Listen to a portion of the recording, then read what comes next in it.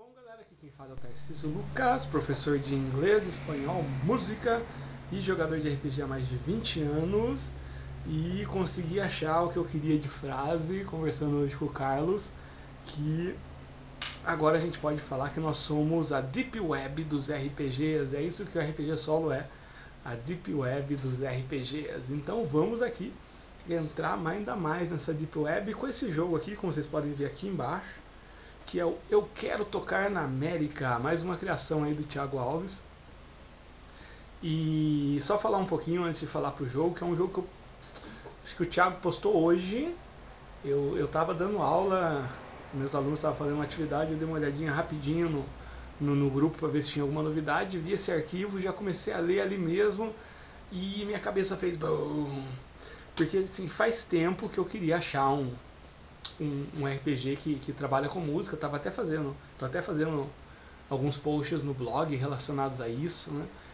E estou pesquisando e eu tava essa semana, eu queria muito achar um, um, um RPG, um board game, algum jogo solo que, que, que, tivesse algumas similaridades com alguma coisa do tipo Guitar Hero, é, que você interpreta uma banda, mas não só a banda, a, o aspecto é, de, de, de, de, viver uma história com essa banda, mas de, de, de, colocar música no meio mesmo. E cheguei até o ponto, eu só não cliquei assim, só não fiz um post no nosso grupo no Facebook falando, galera, alguém conhece algum RPG de Guitar Hero? Por falta de tempo mesmo. E, que nem eu falei pro Thiago, né, foi um lance de transmissão de pensamento, ele fez esse jogo aqui, que é Eu Quero Tocar na América, que é um jogo, cara eu, eu não sou nem um pouco teórico na, na questão, ah, isso é RPG, isso não é RPG, isso é board game, isso não é. Então, para mim, tudo é que, que você interpreta um personagem, seja mais fechadinho, seja bem aberto, tudo para mim é RPG. Eu sei que isso tem variações, tá bom, galera? Nem, nem quero entrar nessa discussão porque eu não vou ter argumento. Eu não, não penso seriamente a respeito disso, não. E nem vou começar a pensar. Mas então tem esse jogo aqui do Thiago, que eu quero tocar na América, que você interpreta uma banda Olha só. É, você interpreta uma banda e enquanto você toca, então você vai ganhando, vai construindo músicas, vai construindo um repertório, literalmente. E, e aí você vai pontuando, esses pontos vão permitindo você a criar mais sucessos, esses sucessos vão permitindo você a tocar em lugares cada vez maiores, até chegar no ponto de fazer uma turnê mundial. Até aí tudo bem, eu poderia fazer isso como RPG normal, utilizando Mythic, por exemplo, utilizando D&D que seja. Mas a grande sacada desse jogo aqui, eu quero tocar na América, é que você utiliza músicas reais e você joga durante o tempo de música. Você coloca uma música que você gosta, qualquer uma, e a cada 30 segundos de música você faz um teste para ver se você desafinou, se você tocou certo. Deixa eu ver aqui mais as opções que temos aqui se você acertou, se você acertou com bônus, se você acertou ainda mais. Então a cada 30 segundos para cada integrante da, da banda você vai fazendo isso e no final você calcula o número de erros e acertos. Se você tiver mais acertos, você vai avançando a sua banda, criando novos novos hits, novos sucessos. Deixa eu mostrar aqui para vocês como é que é a cara. A licencinha.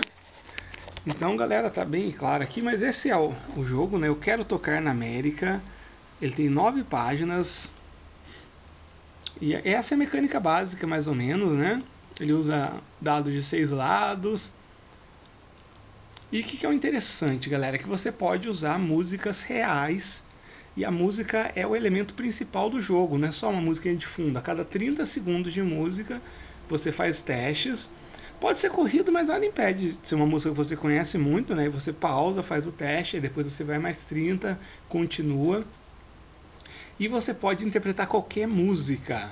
Por exemplo, eu no meu caso, como vocês sabem, eu gosto muito de de rock and roll e heavy metal.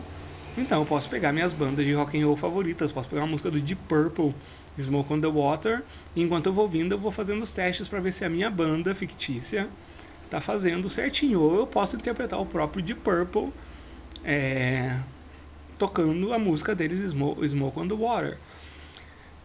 Nada impede que você faça com outros estilos, nada impede que você faça isso com jazz, nada impede que você faça isso com música clássica, tanto faz. E você pode rolar os dados para uma pessoa só, por exemplo, só para o vocalista, se for um artista solo, ou você pode rolar uma vez para cada integrante da banda. Isso vai aumentando as chances de sucesso. Né? Ele tem dicas de como criar a sua banda. Então, ó, inventa um nome, determina o número de membros, é, uma característica. E é muito massa. Aqui tem a tabelinha que você vai usar. Tem as formas de avaliação, né? Depois que a música termina, você conta quantos o quão bem você foi, se o resultado foi moderado, se o resultado foi um sucesso, se você desafinou muito. E tem essa parte aqui que é músicas de vida, que você vai ganhando músicas conforme você vai tendo mais sucessos e você vai perdendo músicas conforme você vai é, errando. Então essa mecânica não tem, assim, mecanicamente não tem nada a ver com o Guitar Hero, mas eu acho que capta bem o espírito do negócio, de você ir acertando e errando enquanto a música está rolando. É, é o que eu estava procurando. Né? Eu nunca conseguiria chegar nisso, assim, foi uma ideia que, que eu não teria. Né? Foi muito bacana. E tem a parte de, de, de, de crescer com a banda. Então tem, tem como fazer ensaios Aí tem as apresentações que você vai aumentando. Por exemplo, você pode gravar um vídeo no YouTube, aí tem uma regrinha para isso, para fazer apresentação na casa de um amigo, para apresentar em barzinho, tem outra regra, apresentar na churrascaria lá do Zé. E vai aumentando. Você vai tocar para festa de 15 anos, apresentação em colégio, até chegar aqui no final, que seria uma apresentação fora do país e uma turnê mundial.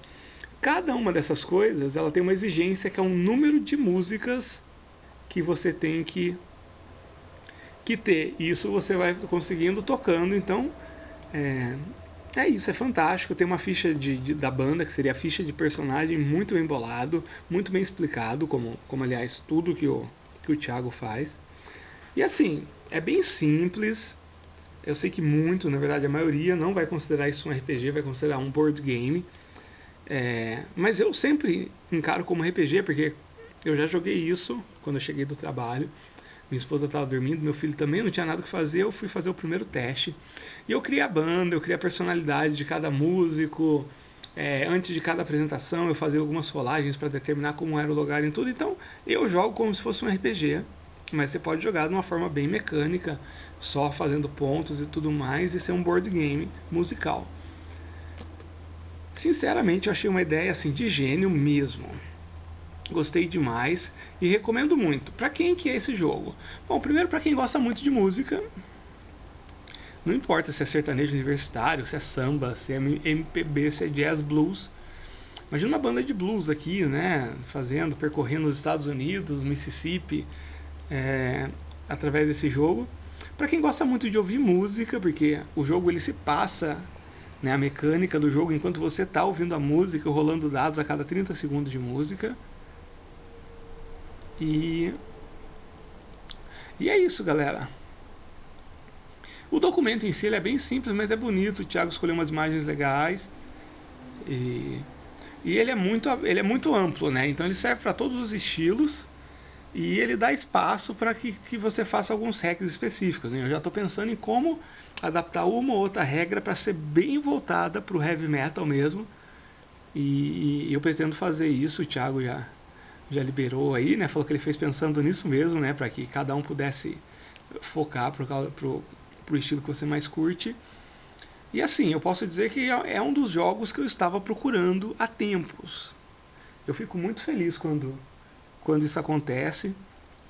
E, e pontos aí pro, pro nosso grupo no, no RPG Solo que, que motivou o Thiago a escrever isso. Ou talvez ele já tivesse essa ideia antes e agora só concretizou. Então é isso, um vídeo bem curtinho, galera. É, se vocês quiserem, eu posso fazer um, um gameplay disso. Seria bem interessante um gameplay disso, na verdade. Porque ele já usa música, já usa um elemento tal. E, e seria um gameplay bem diferente, bem diferentaço. Recomendo demais, então, para quem curte música, logicamente, para quem mais? Para quem curte é, Guitar Hero, eu acho que até, até agora é o jogo que mais pega essa, essa, essa dinâmica do Guitar Hero, embora seja com outras coisas. E, e também é um jogo para quem curte jogos diferentões assim. Há um tempo atrás eu eu baixei um, comprei, um, baixei, na verdade que é gratuito, não lembro se eu paguei alguma coisa ou se eu, ou se eu comprei, que é o Música RPG, que era um, um, um, jogo nacional também, não me lembro o nome, deixa eu ver se eu acho aqui, só um segundo galera. Hum, música não está aqui. Só um segundinho. Agora eu fiquei curioso, eu quero ver que jogo é esse, deve estar aqui no RPG, Nacionais. Aqui. Então, no Dungeonist, você vai encontrar esse, esse jogo aqui, galera, que chama Música com K, Música RPG.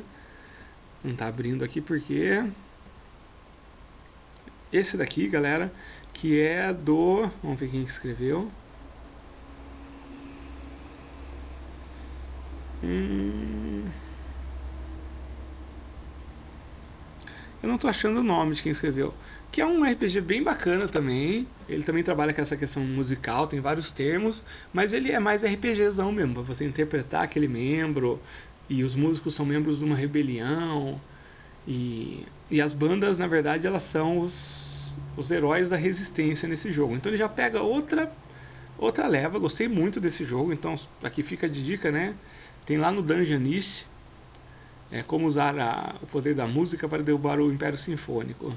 Mas isso aqui é mais RPGzão mesmo né? De interpretação tendo a música como o, o grande pano de fundo. Já esse do do Thiago não, ele é a música como elemento principal, a música em si, o som que está soando. E, e é muito massa. Eu, eu gostei demais e vou desligar aqui para poder jogar mais um pouco. Um abraço.